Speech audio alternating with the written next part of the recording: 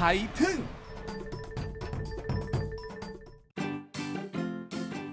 หัวหินและเป็นถิ่นมีหอยฝรั่งนั่งคอยจนหินบาดหอยว้าแม่คลิปที่แล้วนี่แค่หอยติดหิน คลิปนี้โดนหินบาดหอยก็ซะแล้วครับว้าผมนี่แปลงเพลงไปเรื่อยเลยทีเดียวครับ ไม่ใช่อะไรหรอกครับแหมก็ร้านเด็ดของอร่อยวันนี้ เรายังอยู่กันที่หัวหินเมืองท่องเที่ยวชายทะเลใกล้ใกล้ๆกรุงเทพนี่เองครับ ได้รับความนิยมมายาวนานกว่าร้อยปี อยู่ในจังหวัดประจวบคีรีขันธ์ในอดีตเป็นชุมชนที่ก่อตั้งขึ้นตั้งแต่สมัยรัชกาลที่ 3 มีชื่อว่าบ้านสมอเรียง หรือบ้านแหลมหิน ก่อนจะเปลี่ยนเป็นอำเภอหัวหินตามชื่อเรียกชายหาดมาจนถึงปัจจุบัน ซึ่งนอกจากจะดังเรื่องความสวยงามของทะเลแล้ว เรื่องของกินที่หัวหินนี่ก็ติดอันดับประเทศครับ ทั้งอร่อยหลากหลาย มีทุกสไตล์ คลิปที่แล้วนี่เราพาไปที่ร้านเด็ดที่ขึ้นชื่อว่าเป็นตำนาน วันนี้เราจะพาไปย่านที่เรียกว่า แนบเคหะนะครับ ใครมาหัวหินก็ต้องแวะกินย่านนี้กันทั้งนั้นนะครับ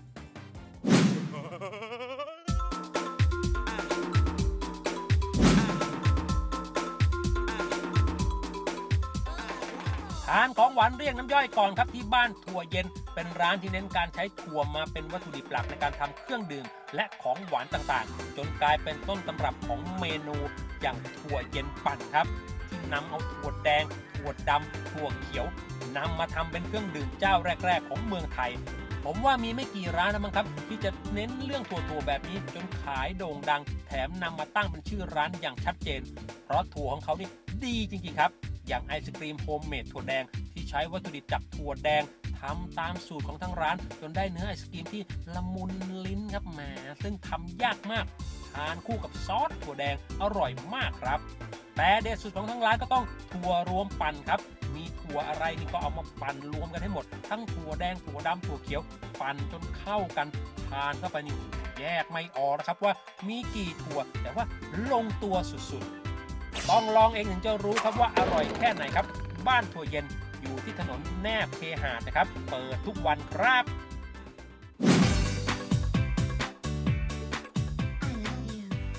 มาต่อกันอีกร้านครับชื่อคล้ายๆ กันแต่ขายอาหารไทยซีฟู้ดสูตรโบราณครับ ร้านอยู่เย็นเป็นร้านเด็ดย่านแนบเคหานะครับ อยู่หัวหินมานานกว่า 14 ปี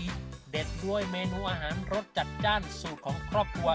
ที่เขาเน้นการนำวัตถุดิบพื้นเมืองมาปรุงเป็นเมนูจานเด็ดครับ เลือกใช้แต่วัตถุดิบที่สดสะอาด และก็ให้บริการอย่างอบอุ่นเป็นกันเอง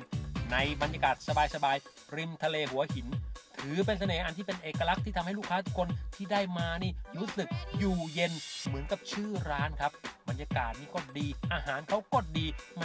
อย่างห่อหมกทะเลมะพร้าวอ่อนเสิร์ฟมาในมะพร้าวทั้งลูกนะครับ อัดแน่นด้วยเครื่องห่อหมก กุ้งหอยปูปลาปลาหมึก น้ำเต้าว้ายดีครับอะแล้วก็ใช้กะทิคั้นสดผัดจนหอมอร่อยครับแต่เมนูเอกลักษณ์ของเขาก็คือจานนี้ครับ กุ้งมรกตครับ เป็นเมนูสูตรโบราณครับ เขียวมาทั้งจานสมชื่อเลยทีเดียว ใช้กุ้งลายเสือผัดกับซอสโหระพา จนเขียวเหมือนมรกตรสชาติจัดจ้านคล้ายผัดฉ่าครับ เมนูนี้นี่ต้องสั่งทานนะครับ ลมพัดเย็นๆทานอาหารอร่อยอร่อยๆที่ร้านอยู่เย็นซอยหัวหิน 51 เปิดทุกวันนะครับ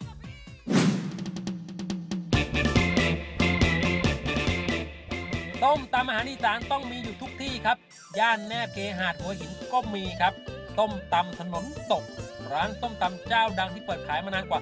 30 ปี โดยเริ่มแรกนั้น ตัวร้านเป็นเพิงเล็ก ๆ อยู่ริมถนนทางลงชายหาดหัวหินครับผู้คนในย่านนี้จึงเรียกกันว่าต้มตำถนนตก เด็ดด้วยเมนูส้มตำไก่ย่างคอหมูย่างและก็อาหารอีสานหลากหลาย ที่ทางร้านครับเน้นการคัดวัตถุดิบอย่างดี ไม่ว่าจะเป็นมะละกอแขกดำให้ความกรอบอร่อยมะนาวแท้คั้นสดจากลูกเลยทีเดียวนะครับกุ้งแห้งตัวโตๆที่ไม่ทิ้งข้ามคืน ใช้วันต่อวัน ไปจนถึงอาหารทะเลอย่างปูม้าที่ต้องเมามาแบบเป็นๆเท่านั้นนะครับนำมาปรุงแบบถึงเครื่องถึงรสไม่มีห่วงครับ ถ้าควงสาวๆมาร้านนี้ครับ มีหวังรักถึงขั้นแต่งงานเลยทีเดียวครับ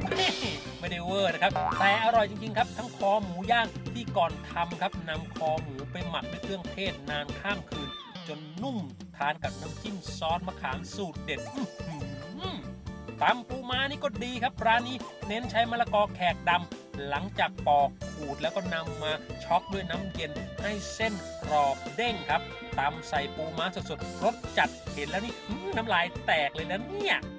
สูตรเด็ดคือไก่ย่างครับ ไก่หมักเครื่องเทศ 7-8 ชนิด แบบเข้มข้นครับ นานข้ามคืน ย่างไฟกำลังดี ดีไปถึงกระดูกแล้วละมั้งครับเนี่ยไก่ย่างส้มตำดีๆที่หัวหินต้องเจ้านี้ครับ ส้มตำถนนตกอยู่ริมถนนซอยหัวหิน 51 เปิดทุกวัน 10 โมงเช้าถึง 4 ทุ่มครับ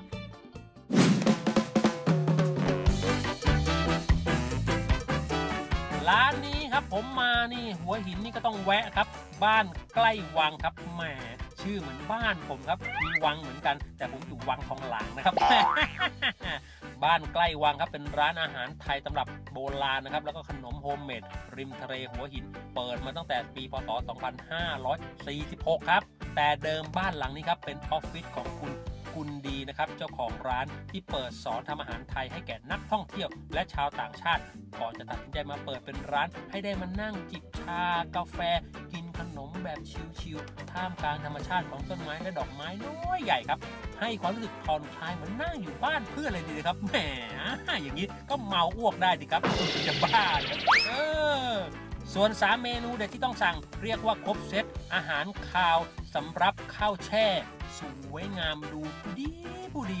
ถ้วยโถโอชามนี่ยังกับอยู่ในวังครับ เปิดชามเข้ามากลิ่นควันเทียนหอมติดจมูกสำหรับกับข้าวก็จะมีกะปิทุบไข่ทอดชัยโป๊หวานทอดน้ำมันหอมเจียว ปลาหวานทับจากปลากระพง หมูฝอยพริกหยวกยัดไส้หมูปรุงรสห่อด้วยไข่แพรซึ่งวิธีทานให้ทานกับข้าวก่อน แล้วค่อยทานข้าวแช่ อย่านำกับข้าวไปแช่ในน้ำข้าวแช่นะครับแหมมันจะทำให้เสียรสชาติสำหรับนี้นี่ดีต่อใจมากๆครับ เครื่องดื่มก็ต้องชาไทยเย็นครับ ร้านนี้ไม่ได้ชงแบบธรรมดา เพราะมีส่วนผสมของชาถึง 3 ชนิด หอมมาก ละมุนนุ่มลิ้นด้วยฟองนม รสชาติไม่หวานเกินอร่อยสดชื่นสดชื่นตบท้ายด้วยเค้กมะพร้าว ผมกล้ารับประกันว่าเป็นเค้กมะพร้าวที่อร่อยที่สุดในหัวหิน ช้มะพร้าวอ่อนสด และน้ำมะพร้าวสดมาใช้ทำเค้กเนื้อเค้กนี่อร่อยมาก ต้องมาให้ได้ครับบ้านใกล้วังอยู่ถนนแนบเคหาดนะครับ เปิดทุกวัน 9 โมงเช้าถึง 6 โมงเย็นครับ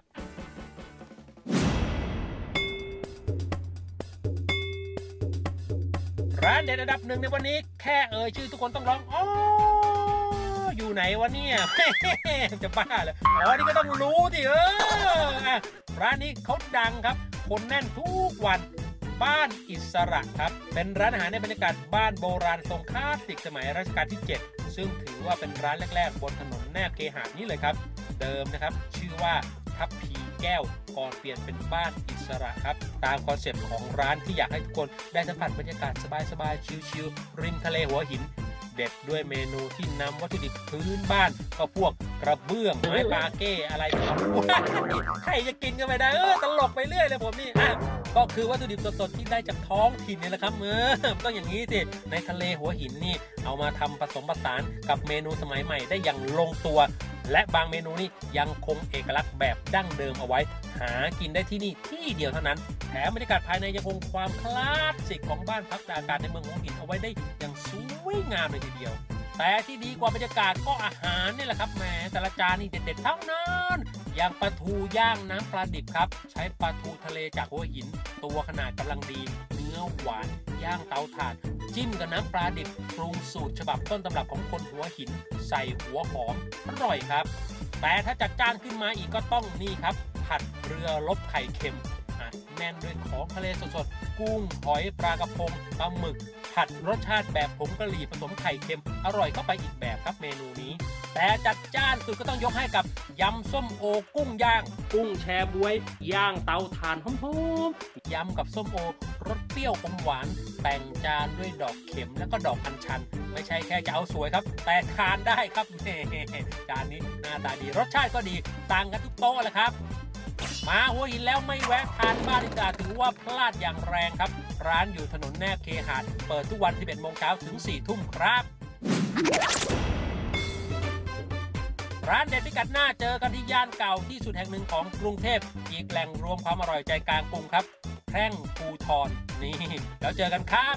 เป็นศูนย์อาหารแห่งแรกแห่งแรกของกรุงเทพก็ว่าได้ขายอาหารทุกเจ้าเลย ประตูน้ำยังไม่เกิดเลย เกาเหลาสมองหมูส มองหมูคืออะไรคุณย่าครับ สมองหมูก็คือสมองหมูนะคะ กินแล้วดีค่ะ เป็นยาบำรุงร่างกาย และถ้าไม่อยากพลาดเรื่องดีเรื่องแปลกนะครับ เรื่องเด็ด 77 จังหวัดทั่วไทย ก็กดติดตามครับ หรือจะปักตะไคร้ในช anel Made in Thailand TV ก็ได้นะครับแม่มีเรื่องใหม่ๆ น่าดูน่ารู้ จะได้ดูก่อนใครครับ ไม่มีพลาดอย่างแน่นอนครับ